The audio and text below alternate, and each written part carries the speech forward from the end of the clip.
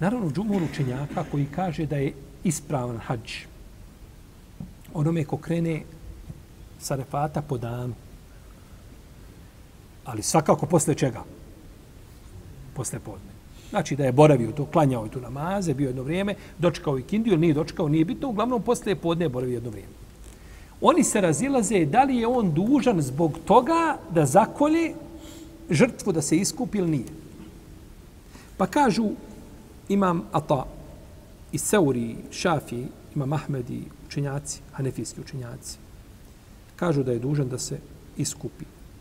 A imam Malik kaže dužan je on da naredne godine oboji ponovo hač. Pa šta to? I još da zakolje hađski kurban. Neki obavezaju da zakolje devu kao iskupinu, neki kod imama Malika treba obaviti šta hađ naredne, naredne godine je nije upotpunio ono što se od njega traži. Ako bi se vratio nazad, pa onda otišao, onda je to razdržao među učenjacima šta bi trebalo da zakolje, jel bi trebalo da se iskupi, ne bi tako dalje. Uglavnom, sunnet je da čovjek ne ide osim posle zalaska čega?